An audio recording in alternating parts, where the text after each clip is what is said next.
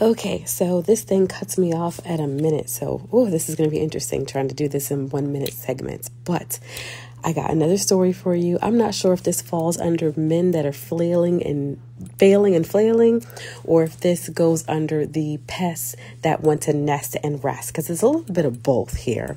Uh, but here is a story of another guy who needs to go into his own, what do you call it, the Mojo Dojo, Broham House, whatever so I'm in training. I don't know how this guy made it here. I'm going to tell you that. I don't know how he got invited to the training because when I tell you like 80,000 people apply to be in our seat, like that's literally a fact. Like it's harder to get into this than it is to get into some Ivy League schools, like literally uh, for this particular airline training. And this guy, I, I think it's very it's very evident by his um, behavior and the things that he says on a regular basis, always trying to have a freaking um, audience around him to feel sorry for him. I think that he has somehow gotten by on his uh, a little bit of charm and uh, and his looks. Um, when he, we first got here, the first week he looked amazing. He's a vegan or whatever, so his skin is always perfect. Now we've been here a couple weeks, so some of that gray hair is coming. He ain't been shaving, all that stuff, whatever. But best foot forward. I mean, Broham like definitely knows how to present well, like a lot of these uh, hobosexuals, uh, which he probably is at too, which like a lot of them do. So. Uh, somehow he charmed his way into this training. Um, now, will he so we've been here almost three weeks now. And he, like, first of all, he failed like his first exam and he passed the retake, which means he has the capability of being able to do what needs to be done, but he won't do it unless he's forced to. Uh, typical. Oh, typical. Oh, there's a word I want to use here, but I don't know if it's appropriate uh, if you share this. Uh, I'll say it rhymes with bigotry. It starts with an N typical of that behavior. Oh my God, it's just so annoying. So, on a regular basis, like he's always like, first of all, he pinpointed me. Now, that's a whole nother conversation. There are just a few black girls around you. Why you all up in my face trying to suck on my tit and get me to be your mama out the gate? Get out of my face with that mess. Asking me for my uh, notes and asking me to help him study and all of that. No, no, you're not mooching off of me. You got to earn your own medal around here. So every time I look up, that's what he's doing, telling people about how he don't have no money and asking um, what food do we have in our hotel rooms. Mind you, we get a stipend he get the same stipend and he's talking about how he has to use his stipend for either bills or food and all this other mess. First and talking about how much his rent is and this and that. First of all we're all adults. We all got bills. You knew what you signed up for when you decided to come to this training okay? And like he does he refuses to do his own work. He acts like he doesn't know how to look up grocery store numbers and a lot of these little girls are just fawning over him and oh let me help you with this and that. And that's how he's probably gotten along so far by people who will, you know, oh, just take pity on him and let me help you be an adult. Let me help you find your vegan options. Boy, you the one that decided to go plant based. So you figure out how to keep up your plant based menu when you're somewhere that doesn't accommodate it. It's mad grocery stores around here. He'll come down to the study groups. Now, mind you, study groups when you come into it, you've already done the work. You've done your homework yourself, you've done your reading assignments yourself. So, really, you're just coming to kind of reinforce what you already know, bounce some ideas off each other, just help strengthen the knowledge that you've already gained. He doesn't take notes in class, he wants to hold court and socialize all the time. Mind you, we are all grown people. A lot of us have left our kids to be here to make this sacrifice to level up, and he is not honoring the seat that he is in, and it is so annoying. He is such a bum. And on a regular basis, he is asking people for help, asking for this. At like ask like even in class, he'll ask the teachers annoying I almost curse annoying questions, which basically you're telling the, even the instructors that you didn't do the damn reading assignments. Because if you did the reading homework, you wouldn't be asking these questions, just wasting everybody's time. So annoying. Then he'll walk up to girls and be like, I need a hug. Like, oh my God, like one of those. Like, you're asking, you're so needy, and you're literally asking for everything all the time. You're asking for food, you're asking for homework help, i.e., can you do the homework for me? You're asking for the, the answers to the quizzes coming up, you're asking for affection. Like, damn, can you just go somewhere? Huh, like, literally, a pest. A pest. Whew. And oh my God, I just remembered something. The very first encounter I had with him was after our first day of classes. He literally met me in the hallway and was like, I need to study with you because you're smart. It's all like, why is it always with them? It's, I could use you. I could use you. You know, you're you'd be good for me. It's always like using you. Like it's like we literally are not human beings to them. We are products to be consumed. Like they consume us for their survival and for their thrival. Yes, I totally made up that word. But seriously, like they will stick around and be around only because there is some benefit. They're always getting the better end of the deal. And I basically like gave him the brush off quick. Like, okay, I'll admit I studied with him one time, but after that, like even before we even got into the studying, I was like, forget this, forget this. So I forgot it cuts me off after a minute. So I was downstairs with a study group and he purposely, I think he came down on purpose, like really, really late and we were almost over, so he can try to corner me into just being one on one with me studying. Why? Because he didn't want to expose himself to everybody else, which I find this offensive. Like, what was it about me that made you think that you could basically expose your inadequacies and I was just going to take pity on you? Because honestly, like, it was all game. And so I cut him off real quick the very first time he tried to come down and study with me one on one. Because I'm like, like less than five minutes into it, he was like, just quiz me on the test questions. But I already know what that meant. That meant you wanted me to basically try to like give you the answers or what I think the answers are going to be. I was like, let me see your um let me see your notes. Let me see this and that. He didn't have no notes. Like he refused. And then I was like, no, let me see what you've done already. And he was like, no, no, I don't work like that. I'm like, oh, you don't work at all. Bye.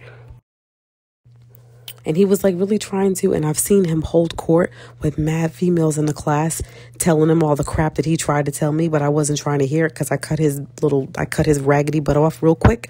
And I hear him saying it on a regular basis. Like, and they're all just like eating it up. Like, yeah, that makes sense okay, you going these little girls are going to follow him right to getting dismissed and getting their butts sent home.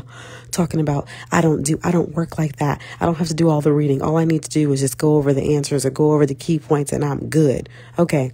All right. And that's why you've already had that's already that's why you've already got your one retake and you only get two retakes and you're out of here. You're gone. Career done. So when I noticed he wasn't even doing the work, like I literally packed up my stuff and was like, I'm going to bed. Like, and I said to him the next day, oh yeah, so then, um, he failed one of his one of the first exams. And when he got done so the first time he studied with me i had gone over a couple of key points and then i was like i'm done because i see that this is all you want to do and this is game. And then i think he copied off of somebody else too. I think he copied his roommate's notes. So he passed that first exam. That's what it was. The second exam he failed and he kept texting me and calling me. So we have like a class group chat so you can like single out a person. And he kept doing that and then like i went downstairs to like get my Uber Eats and he was down there and I was like, no. And I said to him, I said, listen, I said, you like are not entitled to my time, my attention or anything else. So when you go home, that's it. Like when they, they, when, if you like, so you have to get like a 90% or better on all of your exams if you get less than a 90, you have failed and you get a retake. You get two retakes total, not two retakes per test, but total the whole time you're here. And this training is long and it, and it's it's very intense. It's federally mandated. So it goes like this one is like almost 7 weeks long. So um he already used one of his retakes.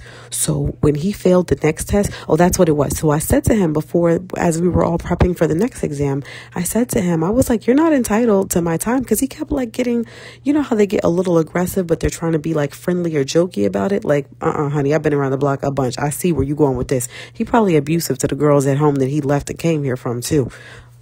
I guarantee you, because he got a smile on his face, but I could feel the tension. When I said no, he wasn't feeling that, and there was a bunch of pushback. So I put his behind in his place.